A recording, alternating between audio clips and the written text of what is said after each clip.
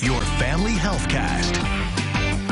Hi, everyone. The numbers are encouraging. Coronavirus cases are down 42% in the U.S. in just the last couple of weeks. But there are some places where the virus continues to spread, and that's because of another number, the vaccination rate.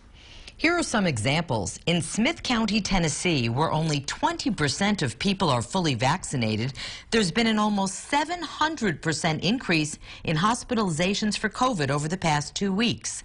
In Maryland, just 8% of people in their 50s who got COVID over the winter ended up in the hospital. That number is more than doubled to 19% now. It's not a coincidence. Doctors say three out of every four COVID cases in the U.S. are from a deadlier and and more contagious variant that started in Britain. It's known as Alpha, and the vaccines have proven to be effective against Alpha. That's why the predicted spring surge didn't happen. But now there's another variant which started in India.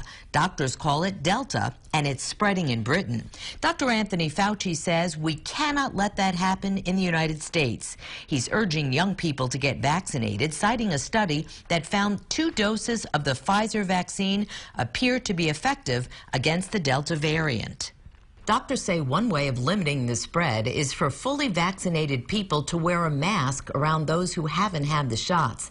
When California opens next week, fully vaccinated colleagues working in a room together can be maskless. But if even one employee does not have the vaccine, everyone in the room will need to wear a mask. Stay healthy. I'm Carrie Lazarus.